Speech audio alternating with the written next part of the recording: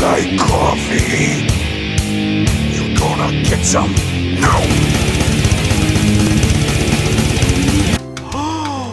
What's this place called? This is, I believe, called food libraries. Food, Food food library. library, food It's called a grocery store, you douchebags!